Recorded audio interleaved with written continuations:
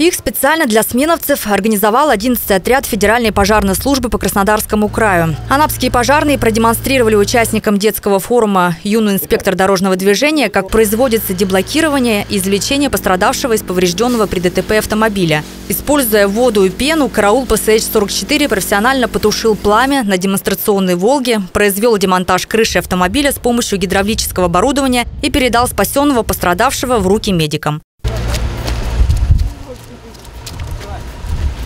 После завершения практической части каждый сменовец смог познакомиться с устройством пожарной машины и специальным оборудованием. Демонстрация получилась зрелищной и впечатляющей. Впечатлила работа пожарников. Быстро приехали, когда подожилась машина.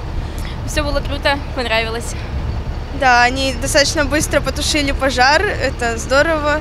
Ну и вообще интересно такие мероприятия, то, что проводятся. Ну, мы думали, будет показано, типа, ну, там, зажжут машинку, потушат ее, и как всегда. А здесь прям посадили живого человека, отпилили крышу. В общем, очень приближенно к реальным условиям все было. Это, конечно, восхищает. При помощи таких мастер-классов э, человек может понять, что он находится под защитой, под какой защитой он находится.